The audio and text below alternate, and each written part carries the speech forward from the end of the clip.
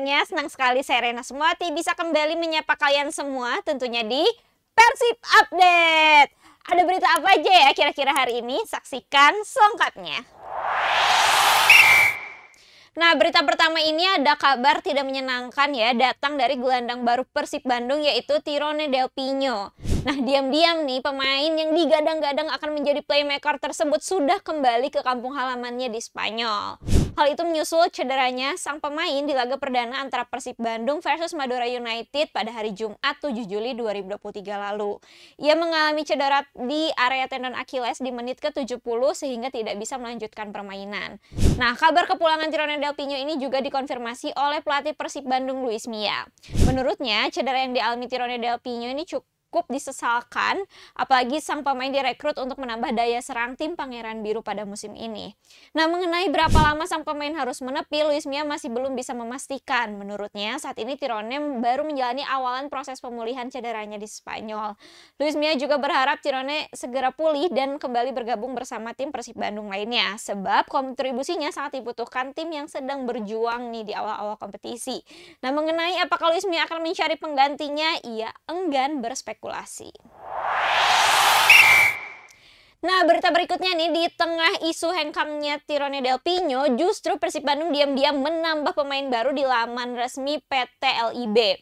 Ia adalah kiper besutan Akademi Persib yaitu Sheva Sanggasi. Nah, di laman Liga Indonesia Baru.com yang merupakan website resmi Liga 1 2023-2024, nama Sheva sudah ada meski tanpa foto dengan nomor punggung 17 hingga Rabu 12 Juli 2023 pagi.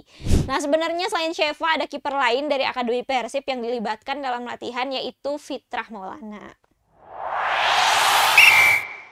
Nah, kita beralih ke berita lainnya. Ini ada kabar tentang pertandingan Persib Bandung kontra Dewa United yang hari Jumat nanti terancam sepi penonton. Nah, kisru soal sistem penjualan tiket menjadi pemicu utamanya. Nah, hal ini nih terkait dengan sikap sebagian bobotoh yang memilih untuk jadi Bon Jovi aja alias bobotoh anu lalajo di TV atau bobotoh yang nonton di TV. Nah, artinya nih sebagian besar bobotoh akan memboikot pertandingan pekan ketiga Persib Bandung versus Dewa United FC di Stadion GBLA nanti. Nah, Gaung Jovi ini semakin terasa ketika isu boykot nonton ke stadion dikumandangkan juga oleh kelompok bobotoh, salah satunya yaitu Viking Persib Club. Dalam media sosialnya disebutkan dari 139 distrik yang mengisi, hanya ada satu distrik yang tidak setuju untuk memboikot. Artinya mayoritas yang mengisi survei mereka itu sepakat dengan langkah tersebut. Nah itu dia tadi Bapak dan juga Tribuners informasi terkini menjelang pertandingan Persib Bandung versus Dewa United. Kalau misalnya kalian ingin mengetahui informasi lainnya bisa langsung aja cek di tribunjabar.id, tribuncirebon.com dan juga tribunpriangan.com. Jangan lupa juga untuk like, share, komen, subscribe channel YouTube Tribun Jabar Video.